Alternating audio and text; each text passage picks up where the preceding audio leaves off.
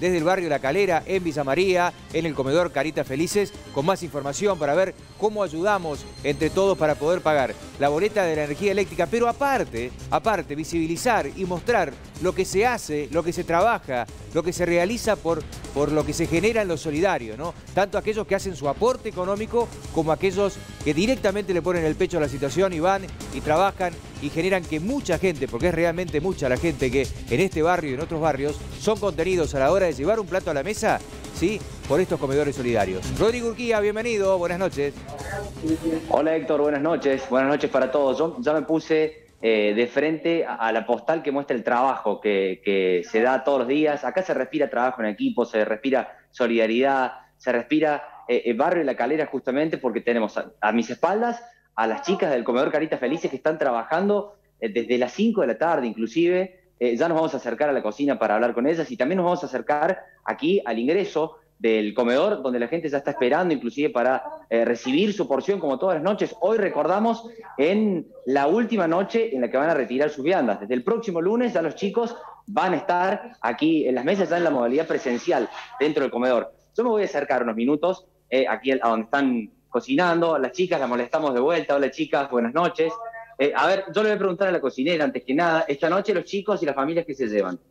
un guiso fideo Bien, hoy sale guiso. ¿Desde qué hora están trabajando? Hace de las seis, muy bien. Bueno, hoy es de las seis de la tarde, pero muchas veces con más de tres horas de trabajo. Sí, si no, cinco minutos. Bueno, y esto se suma al trabajo que tiene cada una además, ¿verdad? Sí. Bueno, sí. Y, sí. Claro.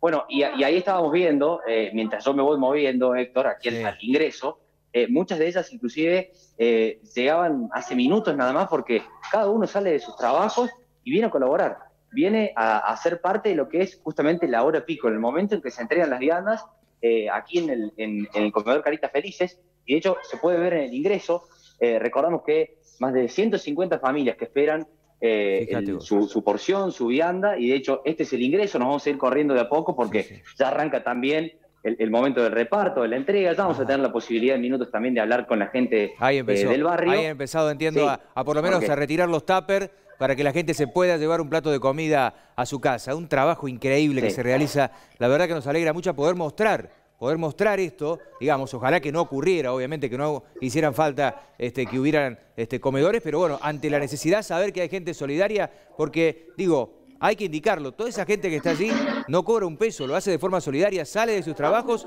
y van a trabajar por el otro.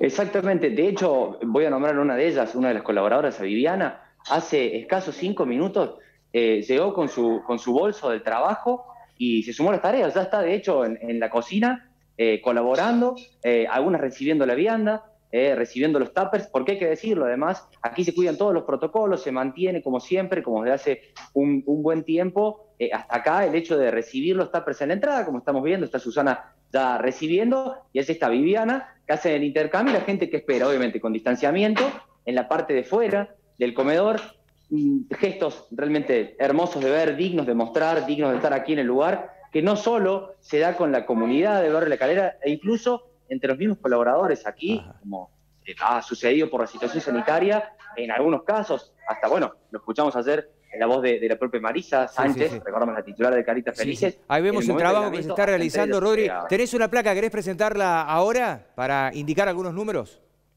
Sí, tenemos una placa para graficar eh, y, ver un poquito el movimiento, no solo de este lugar, sino la realidad de los comedores comunitarios en todo Villa María. Estos son datos oficiales, Héctor, son datos del registro de comedores y merenderos del municipio de Villa María. Alrededor de 1.300 chicos asisten a comedores y copas de leche de la ciudad en la actualidad.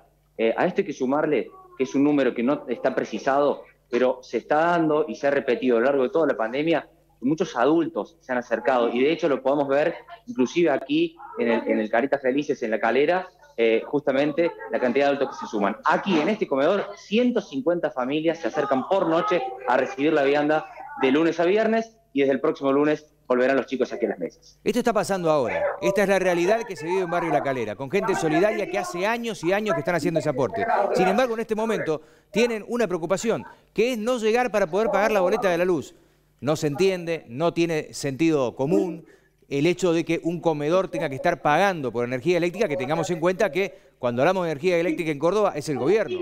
¿sí? La energía eléctrica, la empresa es estatal, pertenece al gobierno de la provincia de Córdoba. EPEC no se le debería cobrar, sencillamente no se le debería cobrar, no debería ser una preocupación. Tenemos la boleta para mostrarla, está la boleta para mostrar, a ver cómo podemos ayudar, ¿sí? aquel que pueda hacer un aporte y dar una mano, porque si no pagan la boleta le van a cortar la luz. Explícame cómo hacen, si el lunes van a llevar a los chicos así, va a haber 150 pibes comiendo eh, eh, en el lugar y que le corten la luz.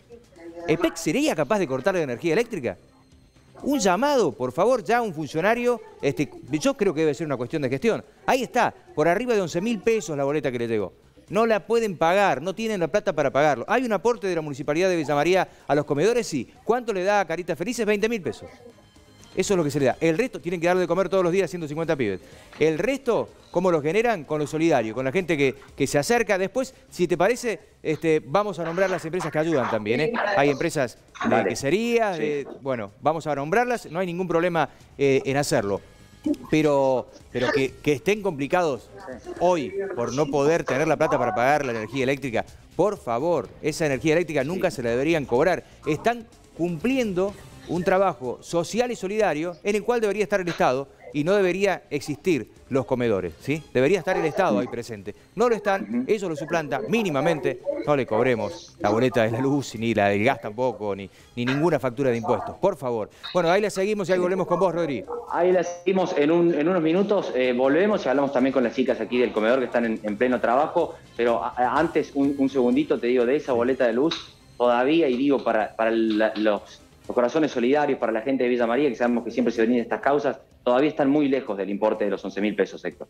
están muy lejos y finalmente se suspendió la venta de empanadas. Así que a colaborar y en un minuto eh, volvemos aquí desde, desde el Carita